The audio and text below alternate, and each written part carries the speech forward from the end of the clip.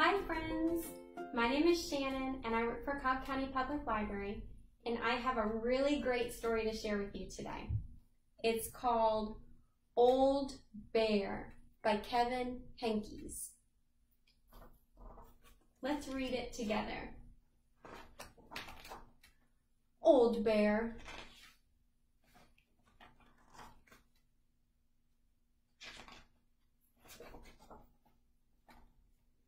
By the time Old Bear fell asleep for the winter, it was snowing hard.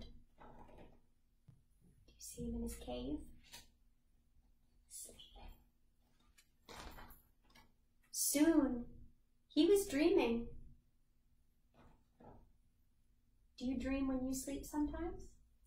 Mm, I do too. He dreamed that spring had come and he was a cub again. The flowers were as big as trees. He took a nap in a giant pink crocus. Do you see Old Bear sleeping in a flower? There he is. Then he dreamed that it was summer. The sun was a daisy and the leaves were butterflies part of the sky clouded over, and it rained blueberries. What?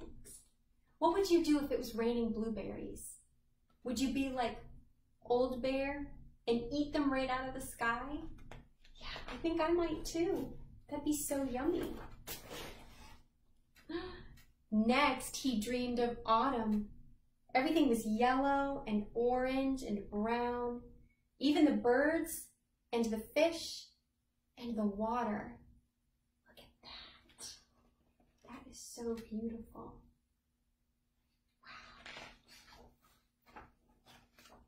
After that, he dreamed that winter was back.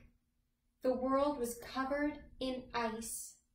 It was night, and the sky was blazing with the stars of all colors. The cold went on forever. Look at all that snow and ice. We don't really get a lot of snow and ice like that here in Georgia. But wherever Old Bear lives, he does. Lots of snow. Old Bear slept and dreamed, dreamed and slept.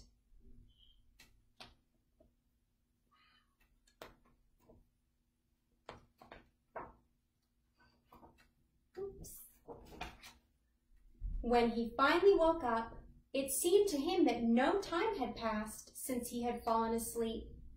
He yawned, he stretched.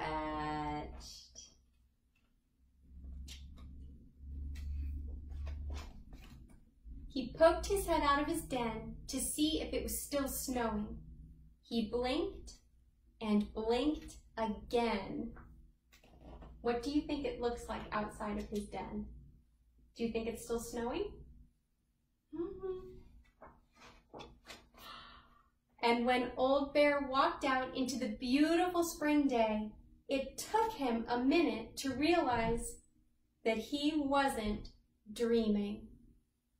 Look at that. How beautiful. The end. Thank you so much for sharing that story with me today. I hope you like it. And if you did like it, Kevin Henkes has lots and lots of books you can choose from at the library. So you can look him up. You can ask your librarian to find more books by him. You can check out Old Bear or one of his other books too. So I hope you'll find some more books to read and share with the people you love. And I hope that I'll see you again next time for more stories. Bye!